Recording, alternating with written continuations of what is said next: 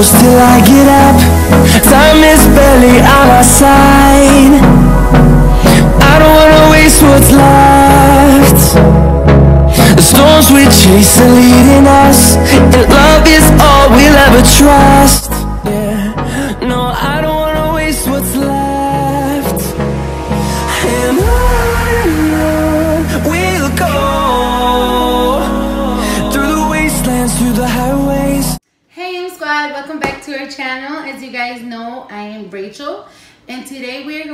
doing a sausage, egg, cucumber, shrimp mukbang. But I'm gonna before we do that, oh yeah guys, and rice. And before we, before we do that, I'm gonna prepare the sauce and I'm gonna prepare the shrimp. So I'm gonna go over really fast our ingredients and what we're gonna be using. So we have for the shrimp, we have all-purpose flour, panko crumbs. I like panko breadcrumbs because they get really crispy and I like the plain because I like to season it myself with some adobo. And we're gonna be using eggs because we're gonna be boiling some eggs. We have some, um, um, um, oops, you didn't see that guys. I got some polished calabasa. These things are good. And for the sauce we have, it's the Rachel sauce, okay? I don't care. I made it my style, so I'm gonna change the name and it's Rachel sauce. Um, we have butter, lemon, onion, Cajun seasoning.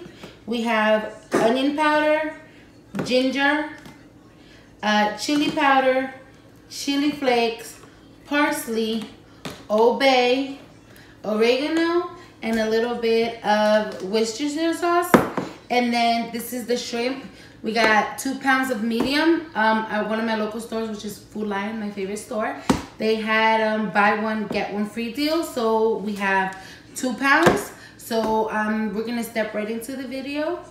Don't forget to like, subscribe this video, and watch the whole video so you can learn how to do it with me. Bye. Okay guys, so right now we're gonna start with the shrimp. To season the shrimp, what I have is no Latin house could go along without adobo pollo. I got some adobo with, um, I think this is the one with pimienta with pepper. I got um, garlic powder and I got onion. Yes, this is in this already, but I don't feel it, I don't taste it, so I add a little more. Here we have two pounds of deveined shrimp, cleaned, deveined, and ready to go. So what I'm gonna do right now, it's all washed and stuff, is that I'm going to season it. So like I said, I'm gonna add a little bit of adobo, a little bit of um, onion powder,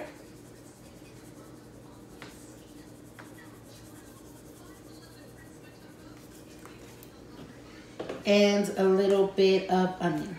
I love onion powder, guys. I don't like onion in real life, but I like the powder. Okay, and then all I'm gonna do is mix it.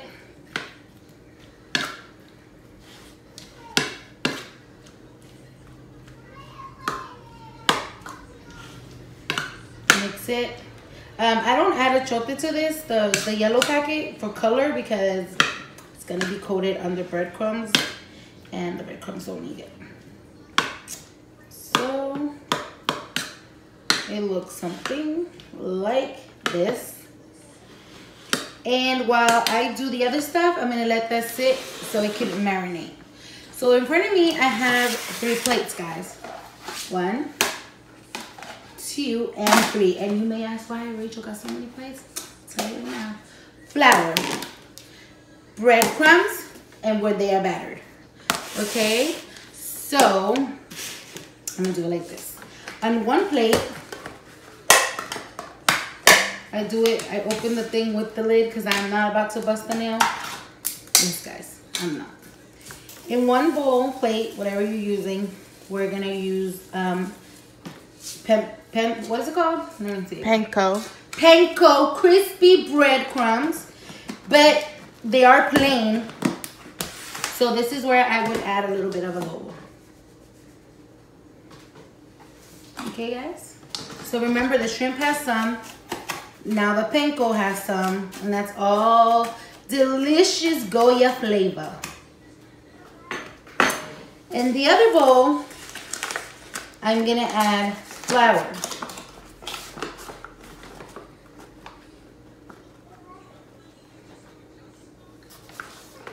We'll start off with this, but I know I'm gonna need more, but we'll just start off with that. It's all clumpy, so you wanna break it up. And in the flour, we repeat the same step, guys. We add a adobo to it. It doesn't even give it a big much of difference, but you get a little bit of the pepper in there. And if you want more color, you could add parsley. Yeah. Um, I add a little bit of the onion. This is all stuff that doesn't have salt. This is just flavor because this is not garlic salt, it's garlic powder. So that just gives it flavor. And then here we add the same thing. And then here is where I would add the parsley because that's the coating outside. So this is just what sticks to the shrimp, so that's why I like to season it. And like I said, none of it is salt but the adobo, and I didn't add a lot. And then this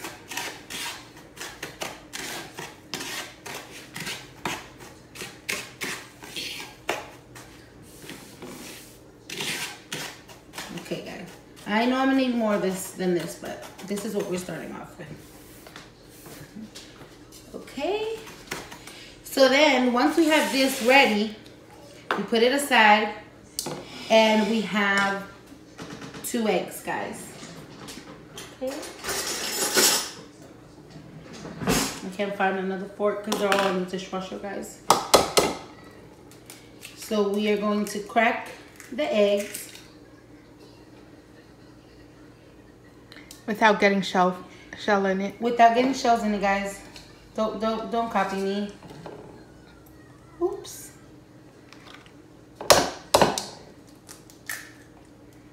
Uh-huh, no eggshells, guys. And if you were crazy like me, you would use a fork, but they're in my dishwasher. So here, we will add a little bit of adobo too. Just a little sprinkling, guys. Nothing. And then we whisk.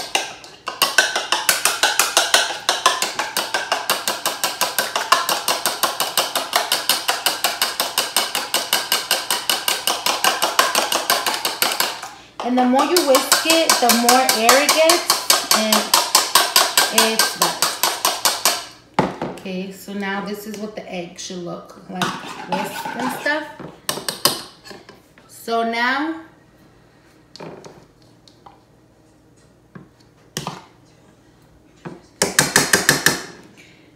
so now what we're gonna do is you wanna try, and I say try guys, to keep one hand wet, one hand dry. Yeah, that does not work for me because it takes forever to do it that way. So you could get the shrimps, add it to the water, to the egg I mean. And this is why I like to season the egg as well because like egg is basically liquid. So anything, any seasoning that adhered to the shrimp is gone. It's in the egg now. So this is why I do it this way. You take a shrimp, guys, you put it in the flour or a few. You could do a few. So this would be the hand that I would try to keep dry.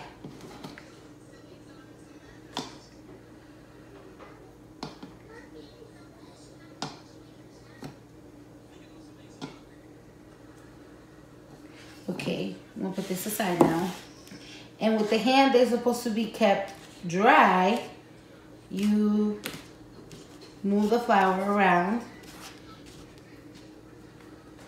to coat the shrimp. Okay.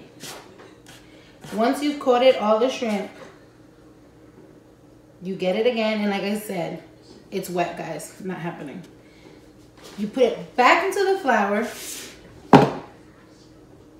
You shake off the excess flour.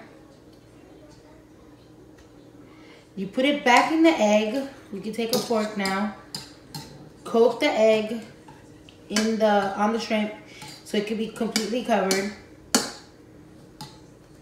And with the fork, you could go back and put it in the breadcrumbs. and make sure it's completely coated with egg so the breadcrumb can stick. And this is what it should look like, guys.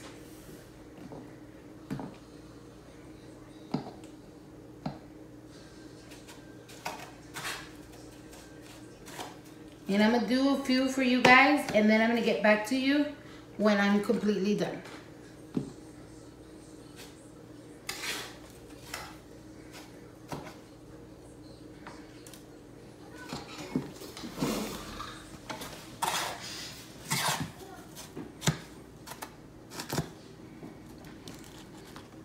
All right, guys, and that's what it should look like. So I'll get back to you with them coating all my shrimp. Bye. Okay, guys, so I just put the eggs to boil. I always add Old Bay and all this stuff to it. My mom thinks I'm crazy. And over here in my pot, I got the rice. How's it going? A hot mess.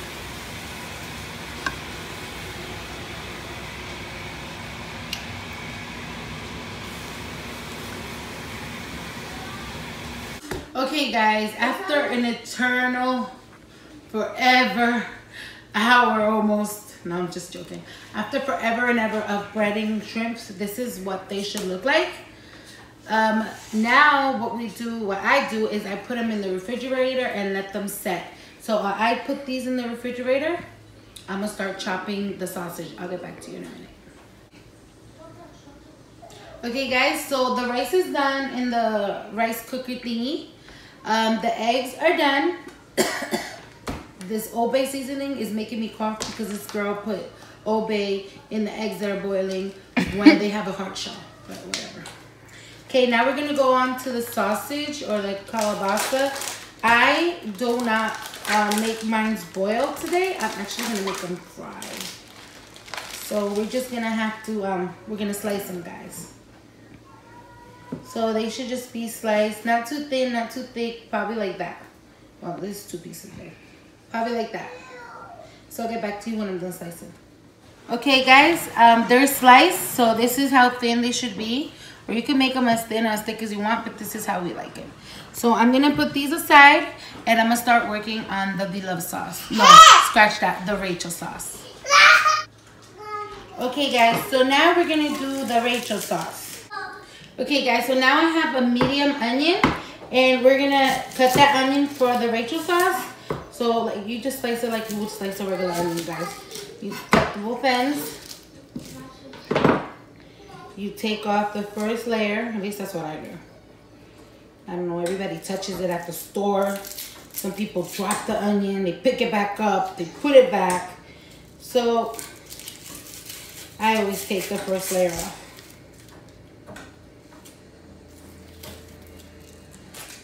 Okay, so this is what it should look like.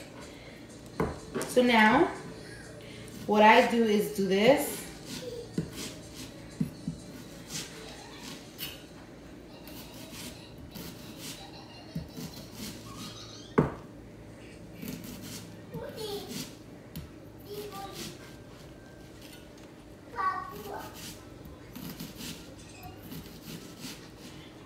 Now it should be like this. And then all I do is do this.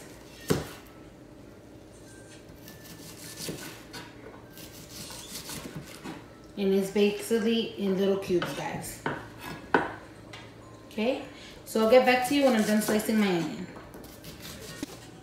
Okay guys, now that the onion is cut, I'm gonna start on my Rachel sauce. You get one stick of butter, guys, okay? Um, don't ask me for measurements because I don't understand measurements. Well, I mean, I do understand measurements, but I don't know measurements. So in that book, in my black pot, obviously you guys can see it's a black pot. In the pot, I'm gonna start off with melting the stick of butter. To that, I'm gonna add the onion. Okay, guys? I'm just adding the onion. Okay. And this is, once your butter is melted, your first stick of butter is melted, you're gonna lower down the heat because you're gonna have to let this onion simmer to cook. Okay guys? And if you put it on high, just for the butter to melt, your onions are not gonna cook, okay? So, sorry, I'm a little, uh, my eyes are all teared up because this onion was strong. Okay guys, so once you have the first stick of butter in and the onions are in, you're gonna get a spoonful of garlic. This is up to your taste, how garlicky you want. We like garlic, so I add this much. It's never too much garlic, guys. Garlic and onion is the best. No, onion is the best. Garlic, not so much. Yeah, no. Together it makes a perfect combination. Okay, guys. Now, once you're waiting for this to melt, you could add your other seasonings. Okay? I'm to start off with the most weirdest one of all. Worcestershire sauce. It's just a little dab, little splash. And this is what I say, I don't know measurements, I'm just putting it in. Uh, onion powder. And this is all you could fix to taste, to taste. So if you feel it needs something more, just add a little bit more. Uh, ginger. No precise order, you could just put it the way you want to put it. Cajun spice.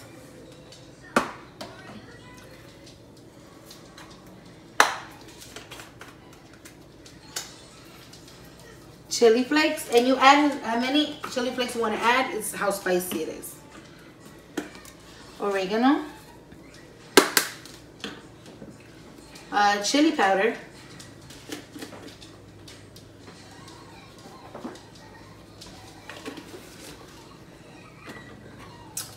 Parsley,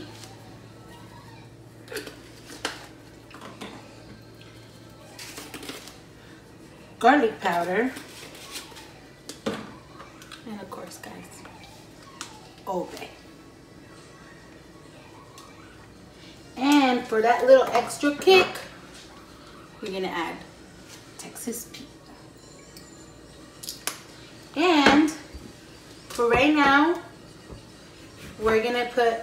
of a lemon.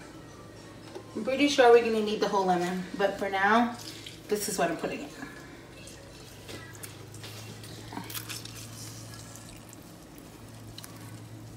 Guys, it smells amazing already. Yes, it does. It does. Don't spill it out the pot now, guys. Okay, so now we're gonna have to let this cook for like a good five minutes so the onion could cook a little bit. And let me taste it.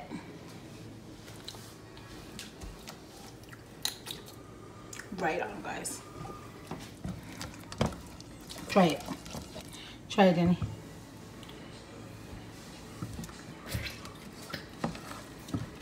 Mmm. So we're just gonna let it cook for like five minutes and we'll get, and we'll get back to you in five minutes, okay? Okay guys, five minutes have passed and now this is the time where we're gonna add the other two butter sticks.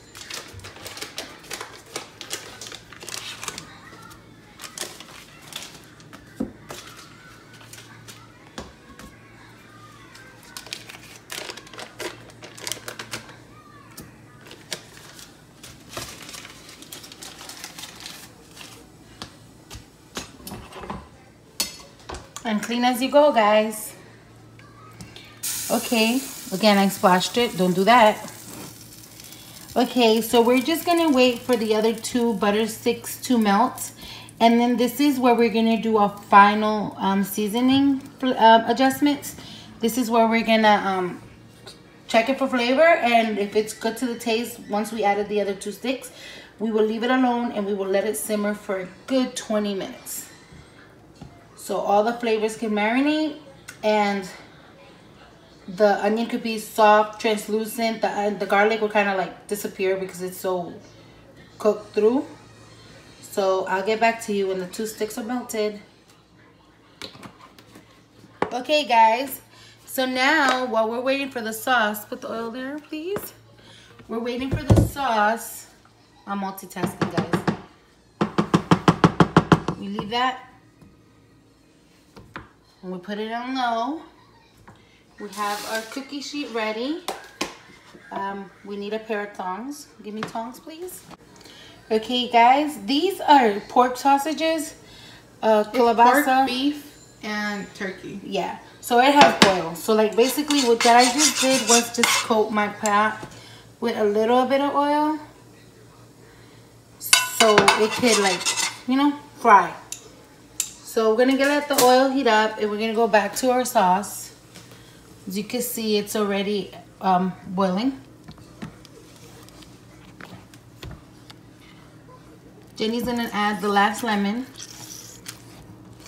The last half of the lemon. last half of the lemon. Don't do that, guys.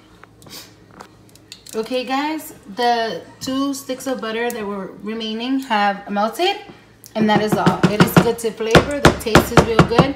So now we're gonna put it on the lowest setting on my stove, and we're just gonna let it chill. Don't mess with it. Now we're going to multitask, like I said. Now we're going back to the sausage. The oil is hot already, so basically all we're gonna do is add it.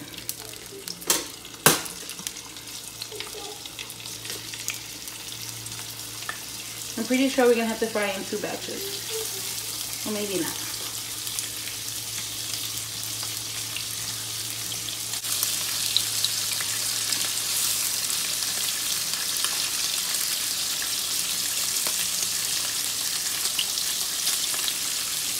Okay guys? And we'll get back to you when we turn them over. Okay guys, this is how the sausage is looking. It is looking delicious, if I do say so myself. And my son is over here screaming, hot dog, hot dog, hot dog, hot dog. He smells it, guys. Alright, so we're just gonna let it fry for like another minute on the other side. And we're gonna take out those and put the rest, the remaining. And back to our sauce, like I said, I'm just moving it to show you guys how good it looks. But this is um, done. I actually like the onion to be a little, to have a little bite to it. Because when you bite into that onion, it's so good. But we're just going to let it sit there for like another 10 minutes. And now I'm going to take out my sausage.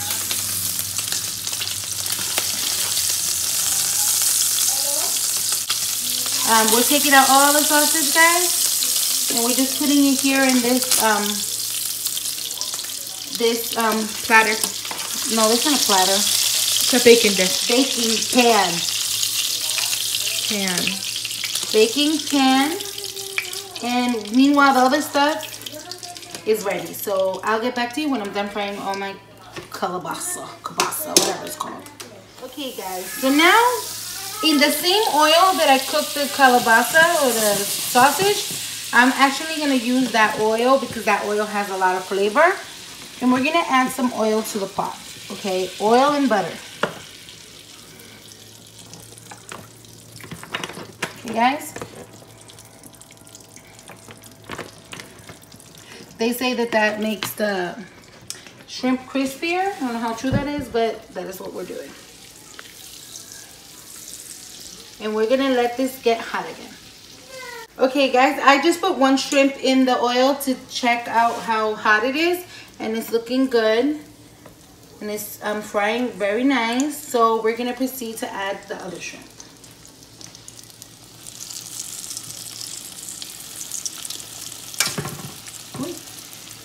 Guys, and with the shrimp and the butter and the garlic, it smells so good. And the reason um, you put it in the refrigerator is for the breadcrumbs to stick to it real good. So that's why I do it. Look guys, that's exactly how I like it. You don't want to overcrowd the pot. So that's all that I'm adding in there. I was using this one for the raw and this will be for the cooked. So this shrimp is done. Look guys. Crispy and golden.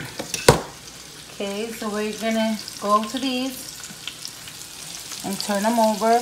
The reason you add a lot of oil is so they could get completely simmered in oil. So by the time that one side is done, because the oil is covering it completely, the other side should be done too. Like you can see like these. And this is um, shrimp. So basically, you know that this cooks in a matter of seconds. Okay. This is what they look like. And we're gonna get back to you when I'm done frying them. Bye. Okay guys, we are finally sitting down to eat. Bye, M Squad. Don't forget to subscribe. And don't forget to turn on the little bell. Ding ding ding. Like, comment, and share guys. Time is barely